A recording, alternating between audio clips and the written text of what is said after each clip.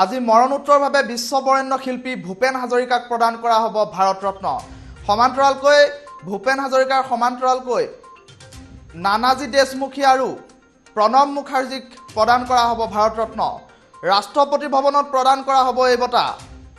মৰণোত্তৰভাৱে প্ৰদান কৰা হ'ব ভূপেন হাজৰিকাক ভাৰত ৰত্ন আৰু ভূপেন হাজৰিকাৰ ভাৰত ৰত্ন বঁটা সংগ্ৰহ কৰিব পুত্ৰ তেজ হাজৰিকাই।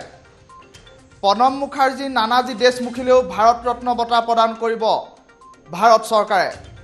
এক আড়ম্বৰপূৰ্ব অনুষ্ঠানত প্ৰদান কৰা হ'ব এই বঁটা। ভূপেন হাজৰিকাক প্ৰদান কৰা হ'ব ভাৰত ৰত্ন মৰণোত্তৰভাৱে প্ৰদান কৰা হ'ব ভাৰত ৰত্ন।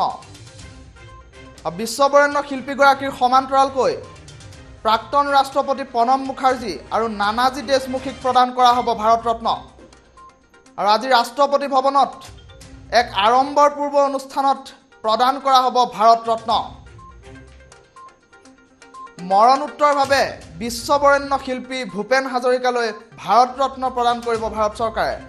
আৰু পুত্ৰ তেজ হাজৰিকাই আজি দিনৰ ভাগত ভাৰত ৰত্ন গ্ৰহণ কৰিব ৰাষ্ট্ৰপতি ভৱনৰ পৰা।